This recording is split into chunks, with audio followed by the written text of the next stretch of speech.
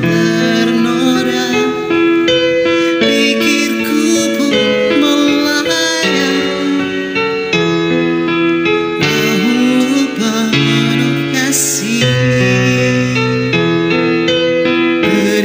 Semua cerita orang Tentang riwayat